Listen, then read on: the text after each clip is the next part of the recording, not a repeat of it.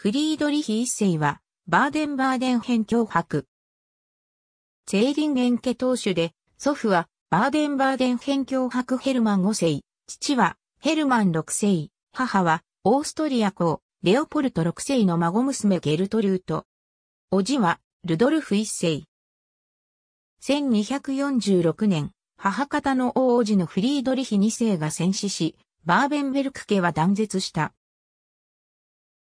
父は、母がバーベンベルク家の女子相続人だったことから、オーストリア公国を請求したが1250年に25歳の若さで死去したため、フリードリヒ一世がバーデンを相続したが、幼いため叔父のルドルフ一世が共同統治者となった。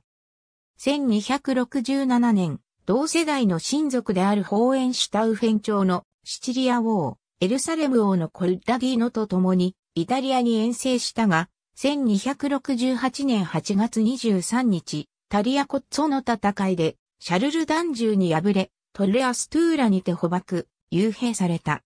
やがてナポリに移され、10月29日、メルカート広場で、死刑執行人のドメニコ・プンツォの手によって斬首された。処刑された場所には、後年サンタクローチェアルメルカート教会が建てられた。バーデンは、オジノルドルフ一世が単独統治することになり、オーストリア公国は、ボヘミア王オタカル2世が獲得したが、オタカル2世は1278年に神聖ローマ、皇帝ルドルフ一世に敗れて戦死、ハプスブルク家の家領となった。